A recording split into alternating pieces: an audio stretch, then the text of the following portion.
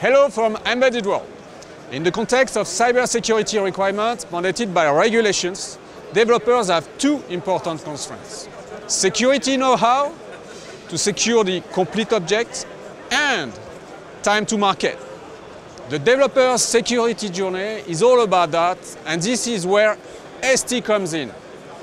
For the STM32H5, ST is providing the Secure Manager, which is a trusted execution environment operating system from an STM32 Trust framework. And it includes most of the software services required by IoT developers. To start, the root of trust with ROM secure boots and digital identities in factory program by ST. It also has state-of-the-art cryptography and secure storage. Then we have a strong isolation for additional trusted apps.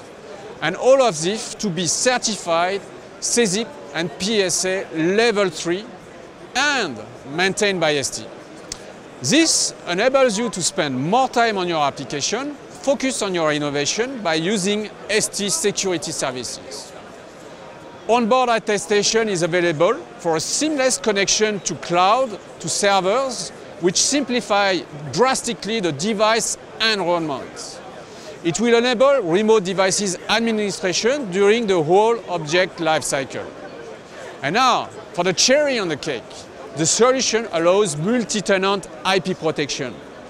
So come and see our demo and how we securely connect to clouds, protect a neural network as an example of IP protection, and you'll understand new business models are at stake. Details available at st.com, STM32Trust, so don't miss it. The software is on preview today and will be available for download later in Q2 this year. Stay tuned on STM32.